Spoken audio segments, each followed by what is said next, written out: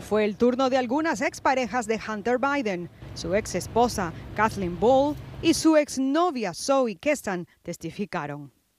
El primer testigo del día fue la ex esposa de Hunter, quien contó cómo su matrimonio terminó en el 2017, después de 25 años, por las drogas y el alcohol. Dijo que él se ponía de mal genio y afirmó que varias veces encontró drogas en el auto de Hunter, incluso en el 2018, el año que la fiscalía quiere probar que mintió en el formulario bajo juramento cuando comprara una pistola.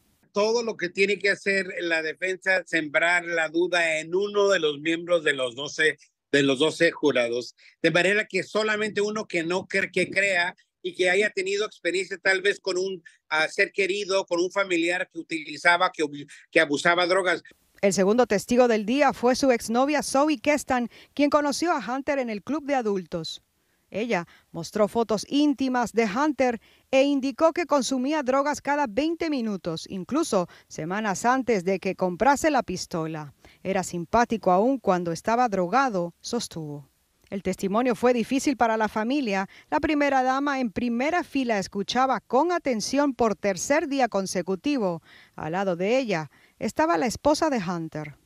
También testificó Gordon Cleveland, quien le vendió la arma a Hunter Biden. Dijo que no lo vio confundido y que pagó en efectivo. Se esperaba también el testimonio de Haley Biden, viuda de su hermano Bo Biden, quien murió de cáncer y con quien Hunter tuvo una relación romántica. En Wellington, Delaware, Claudia Uceda, Univision.